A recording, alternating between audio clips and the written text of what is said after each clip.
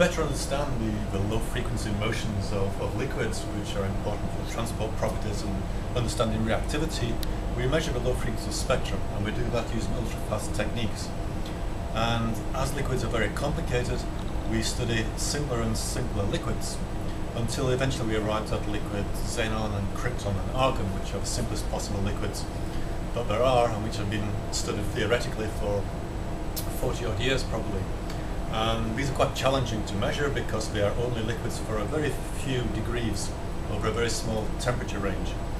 And so we have to flow the liquid into a cryostat through a tube where we condense it into a, a small glass uh, cuvette in the base of a cryostat. Then we use the laser to um, interrogate the, the properties of the liquid and the laser generates an extremely short pulse of light, a few femtoseconds long, and this light, this pulse of light interacts with the liquid through a scattering mechanism.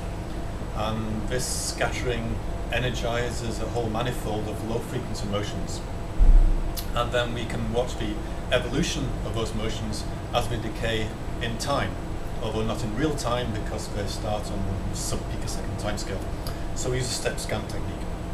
And we can then take that data and Fourier transform it, and that gives us the frequency response of the liquid.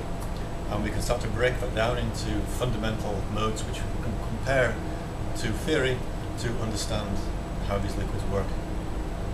So the time domain signal that we finally measure from these three liquids from xenon, krypton and argon is surprisingly complex.